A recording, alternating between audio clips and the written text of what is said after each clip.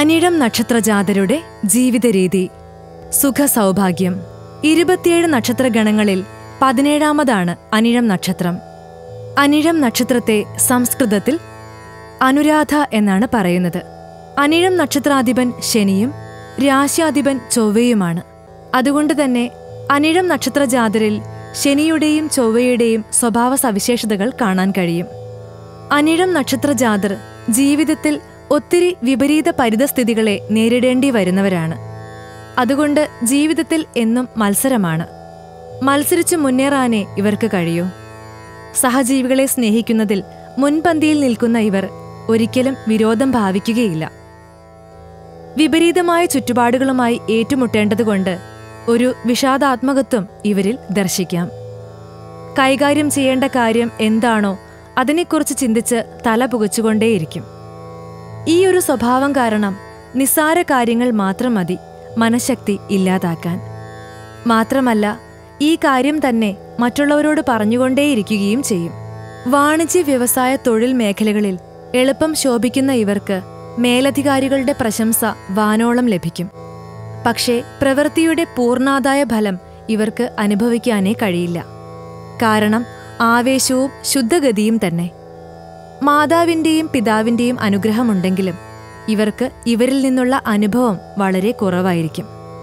വാക്കാലോ പ്രവൃത്തിയാലോ ഉണ്ടാകുന്ന തർക്കങ്ങൾക്ക് ഇട കൊടുക്കില്ല.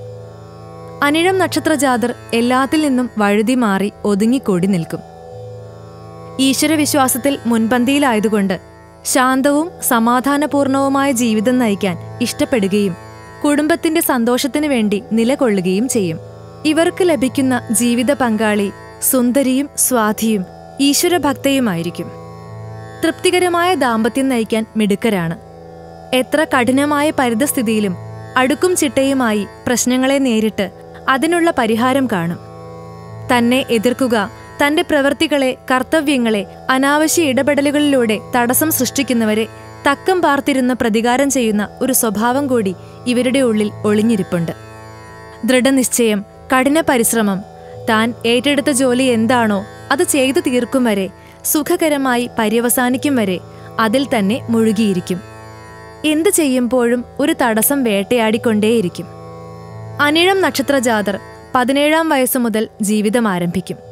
നാൽപ്പത്തിയെട്ടാം വയസ്സിൽ ജീവിതത്തിൽ മാറ്റം വരും. ഈ നക്ഷത്രത്തിൽ പിറന്നവർക്ക് വിശപ്പ് ദാഹം എന്നിവയെ നിയന്ത്രിക്കാൻ ബുദ്ധിമുട്ടായിരിക്കും. ദുഃഖം ഘനീഭവിച്ച പോലെ എപ്പോഴും. മറ്റുള്ളവരുടെ കാര്യത്തിൽ അതീവ ശ്രദ്ധാലു സഹായി ധർമ്മകാര്യങ്ങളിൽ നിഷ്ഠ പുലർത്തും.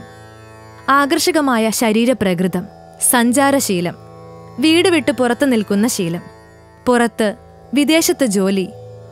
അനിഴം നക്ഷത്രജാതരായ സ്ത്രീകൾ സുന്ദരിയും സ്വഭാവശുദ്ധിയുള്ളവളും വിനീതയും പ്രസന്ന മുഖഭാവത്തോടു കൂടിയവളുമായിരിക്കും. ഈശ്വരഭക്തി ഗുരുഭക്തി പതിഭക്തി എന്നിവ ഇവരുടെ സവിശേഷ ഗുണങ്ങളാണ്. കുടുംബത്തിന്റെ അന്തസ് നിലനിർത്തും.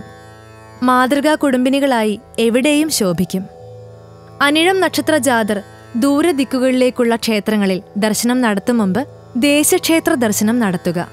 അനുഗ്രഹം വാങ്ങി മാത്രം യാത്ര പുറപ്പെടുക. താമ്പൂലത്തിൽ അഭിലാഷ് പറയേരി. ഉടൻ സബ്സ്ക്രൈബ് ചെയ്യൂ. താമ്പൂലം